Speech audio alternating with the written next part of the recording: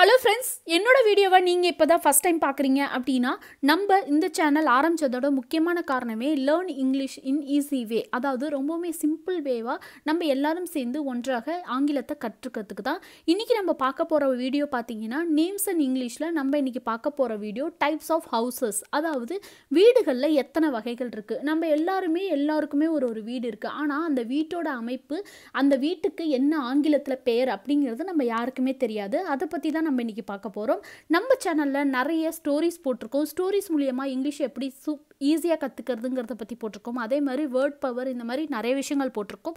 உங்களுக்கு பிடிச்சிருந்ததுன்னா போய் பாருங்கள் நீங்கள் இந்த வீடியோவை இப்போ தான் பார்க்குறீங்க அப்படின்னா உங்களுக்கு பிடிச்சிருந்தா ப்ளீஸ் சப்ஸ்கிரைப் பண்ணுங்கள் இன்றைக்கி நம்ம பார்க்க போகிறது டைப்ஸ் ஆஃப் ஹவுசஸ் இதை கண்டிப்பாக நம்ம எல்லாருமே தெரிஞ்சு வச்சுக்கணும். நம்ம எந்த வகையான வீட்டில் நம்ம வசிக்கிறோம் அப்படிங்கிறத நம்ம தெரிஞ்சு வச்சுக்கணும். ஸோ இதோட ஆங்கில ஆங்கில பெயர்களை தான் நம்ம இன்றைக்கி பார்க்க போகிறோம் அடுக்குமாடி குடியிருப்பு block of flats or apartment building அப்பார்ட்மெண்ட்டாக இருக்கும் இல்லையா?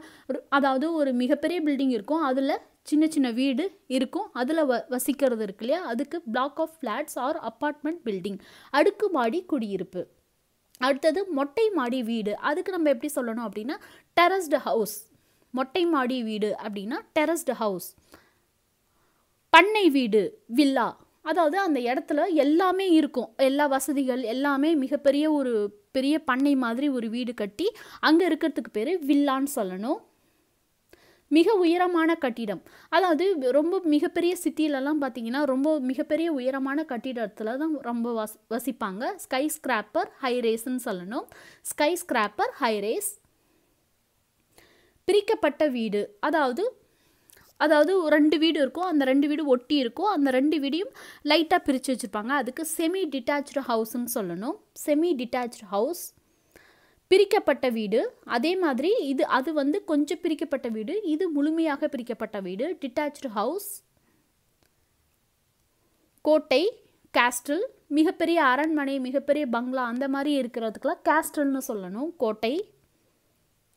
குடில் காட்டேஜ் ஒரு கிராமத்தில் சிறு சிறிய வீடுகள்லாம் இருக்கும் இல்லையா? அதுக்கு பேர் காட்டேஜ்னு சொல்லணும். குடில் கலங்கரை விளக்கம் லைட் ஹவுஸ். இது வந்து நம்மளுக்கு வழிகாட்டுறதுக்காகவும் அந்த மாதிரி இருக்கிறதுக்கெலாம் மிகப்பெரிய லைட் வச்சு இருக்கும் இல்லையா? மிக உயரமாக. அதுக்கு பேர் லைட் ஹவுஸ்ன்னு சொல்லணும்.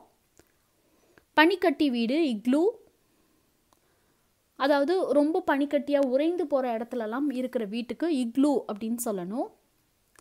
கூடாரம் டென்ட். அங்கங்கே போயிட்டு நிறைய விஷயங்கள் தெரிஞ்சுக்கிறதுக்காக அப்படியே போயிட்டு அப்படியே அப்படியே போயிட்டு டென்ட் போட்டு தங்கியிருப்பாங்க இல்லையா? அதுக்கு டென்ட்னு சொல்லணும். கூடாரம். கேம்பர் வண்டி. கேம்பர் வேன் அதாவது வேன்லேயே எல்லா வீடு செட்டப் கிச்சனு பாத்ரூம் எல்லாமே இருக்கும். அந்த மாதிரி இருக்கிறதுக்கு கேம்பர் வேன்னு சொல்லணும். இது ஜஸ்ட் ஒரு ஜென்ரல் நாலேஜ் தான். நீங்கள் எந்த மாதிரி வீட்டில் இருக்கிறீங்க நீங்கள் எந்த மாதிரி வீட்டில் வசிக்கிறீங்க உங்களுக்கு எந்த மாதிரி வீட்டில் இருக்கணும்னு ஆசை அப்படிங்கிறதும் கீழே கமெண்ட்டில் சொல்லுங்கள் உங்களுக்கு இந்த வீடியோ பிடிச்சிருந்தது அப்படின்னா please like and share and subscribe பண்ணுங்கள் thank you thank you for வாட்சிங்